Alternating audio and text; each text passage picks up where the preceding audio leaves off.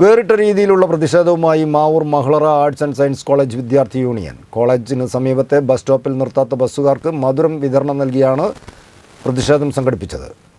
പ്രതിഷേധ പരിപാടി college principal O Muhammad Swalih ഉദ്ഘാടനം ചെയ്തു. Mavoor Mahlara arts and science college വിദ്യാർത്ഥി യൂണിയന്റെ ആഭിമുഖ്യത്തിലാണ് വേറിട്ടൊരു പ്രതിഷേധം സംഘടിപ്പിച്ചത്. കോളേജിന് മുൻപിലെ ബസ് സ്റ്റോപ്പിൽ നിർത്താത്ത ബസ്സുകാർക്ക് മധുരം വിതരണം നൽകിയാണ് പ്രതിഷേധം സംഘടിപ്പിച്ചത്.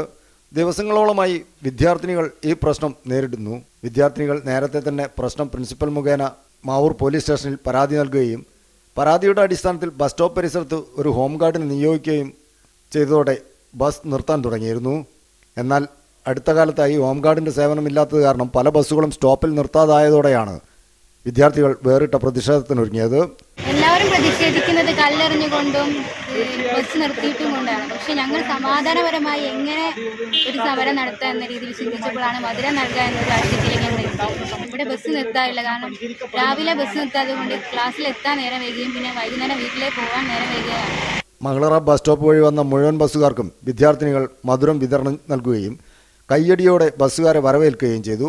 പ്രതിഷേധ പരിപാടി ജംഷീർ കയുടെ അധ്യക്ഷതയിൽ പ്രിൻസിപ്പൽ ഒ മുഹമ്മദ് സ്വാലിഹ് ഉദ്ഘാടനം ചെയ്തു. അധ്യാപകരായ അഡ്വക്കേറ്റ് ഉഷ നിഷിത നഹാൻ ഗോകുൽദാസ് വി അബ്ദുൽ അസീസ് ബസോണസ് ഭാരവാഹികളായ Asain Basheer college chairman Asna P M തുടങ്ങിയവർ പരിപാടിയിൽ സംബന്ധിച്ചു. News bureau Mavoor.